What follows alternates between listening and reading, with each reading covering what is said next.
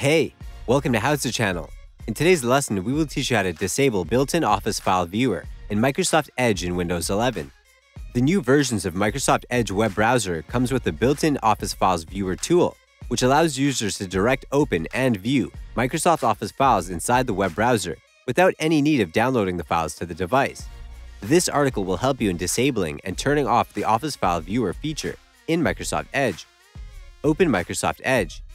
Click on the three dots at the top right corner of the window. Choose Settings from the list.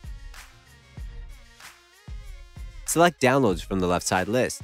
Look for Open Office Files in Browser option. Turn the switch off to disable the option. Turn the switch on if you want to enable the option. That's it. Thanks for watching the video. Please like it and let us know if you used any of our tips and tricks. Subscribe to our channel. We upload new tutorials every day. See ya!